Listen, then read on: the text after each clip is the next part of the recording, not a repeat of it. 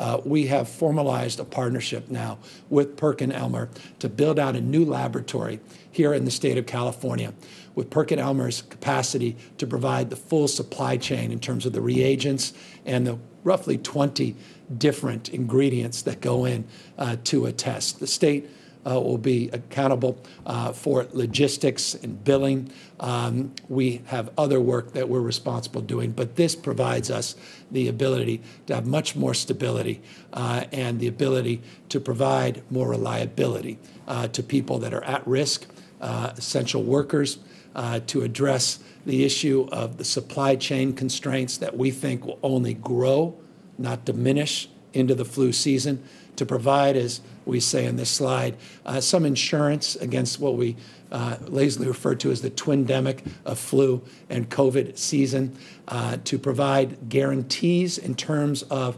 turnaround time for results, uh, and ultimately to drive down the cost for everybody. This is exactly what the federal government should be doing. But what is significant in this partnership is we are uh, demanding test results back within 24 hours, the latest 48 hours, and we have provisions in the contract to guarantee that turnaround time. You get in within 48 hours, certainly within 24 hours, uh, then we have the ability to make decisions in real time that will advance our efforts to reopen our schools for in person education, reopen our businesses in a more effective and efficient manner, in a more sustainable manner. And by the way, we'll be putting out those guidelines Friday